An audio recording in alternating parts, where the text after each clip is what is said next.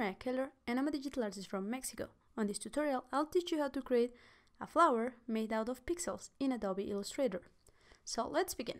The first thing we're to do is create a new document. I have already created mine to save time, but if you don't know how to create one, I'm to teach you very quickly how. You're to go to File, New, or press Ctrl N. Then you're to make sure that you have a canvas that has a 600 by 600 pixels width and height, and make sure that you select RGB. I'm going to close this because I had already created mine. We're going to go to our tools panel and here where you can see the line segment tool, you can click and hold that click and you're going to find the rectangular grids tool. Just click on that one and then click on your canvas. And now when you do that, a window like this is going to appear. I'm going to change the size of my grid to match the size of my artboard. So it's going to be 600 by 600 and I'm going to change the number of my dividers to 31 by 31 and press OK. You can see how my grid has been created and now I want to align it to my canvas so I'm going to go here to the top make sure that I'm aligning to artboard and then click on it and then go to horizontal align center and then to vertical align center and now you can see how my grid is sitting right there on the top of my canvas. Now I'm going to begin painting on it. So what I'm going to do is I'm going to go to my tools panel and you can see here how I have the shape builder tool. And if I click and hold a click, I can see the rest of the tools. So I can go to the live paint bucket or use the shortcut K. Now I can begin painting and I'm going to use the black. Just uh, make sure that you as you can see how it removed the stroke of my grid so you cannot see it anymore. And I have filled it with black and I'm going to begin counting. The first thing we're going to create is going to be a circle. So we're going to use go to the center and then just go six squares below the top. And I'll create two you can see how both of these are right there on the middle. We're going to actually uh, add one more. So you just simply click on the grid. And there we go. Now we have our tree now I'm going to create another two points. There right there on diagonal. And then another tree and then two more on diagonal. And then three I made a mistake there so I'm to undo it. But you can see how uh, on some when the when I'm making points that are several squares filled I just click and drag instead of just clicking so I fill more of them. Now I'm to begin working on the petal so it's to be one then three then one then we're to be making five I'm going to do the same on the other side so again go right there and make one then make three and then just make one more to connect them. I'm going to be doing the same all around the circle. So repeat that again, make one, then again three, and do the same on the other side. So one and three, and then just one on each side and just join them with five. Again in here one, one on the other side, three,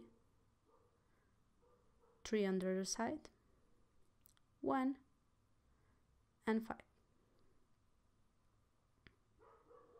Finally on the bottom, 1 on each side, 3 on each side, 1 on each side, and then 5. Now what we're going to do is create the stem of our flower. So just make a line almost to the bottom, connect them, and I'm actually I'm to do Control C and then just connect them. Now let's make some leaves. So let's count five, sorry, four from the bottom, two right there, two again, then let's go to four and let's close this. Let's go to the other side of the flower.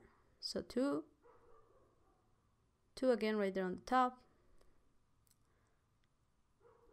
two more to make four and close the shape and now we have our flower now it's the next step is going to be to fill it. I have already selected my colors in advance, so you can use my same values or you could pick whatever colors you think suit your flower. So I'm gonna go and select this yellow that I had already selected and make sure that you are having the yellow on the fill, not on the stroke. And I'm gonna fill all the inside of the first circle that we created. So just as I said before, you can click and drag to cover more space. Now I'm going to change to purple and fill the petals. Again, make sure that you are the purple is on the fill and not on the stroke.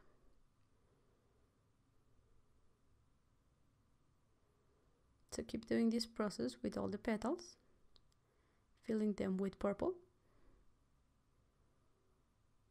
Now the one on the top. and finally the one on the right.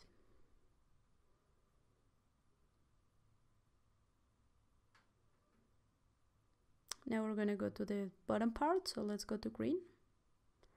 This lime green, I'm going to select it and Control C to undo that and fill all those white squares.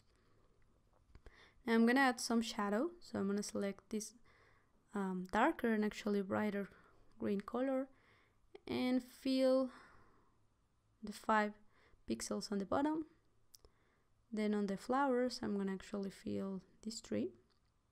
And on the other one those same three. Now I'm gonna go to my purple and make a select sorry a darker purple. And let's just fill the ones that are on the right and the bottom. And for the next petals the ones again that are sorry on the left and the bottom.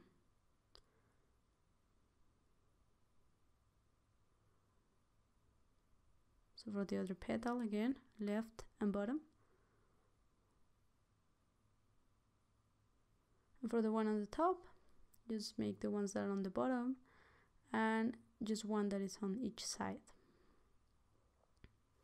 now I'm going to work on the circle so I'm going to select a darker yellow that is actually orange and I'm going to fill these two on each side. Actually one only on this other side. And then let's use a darker one to fill all the ones that are close the other ones.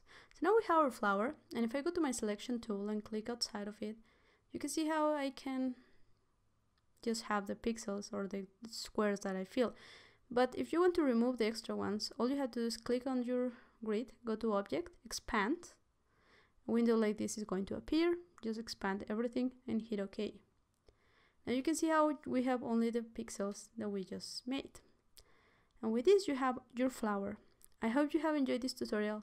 Thank you very much for watching. See you next time.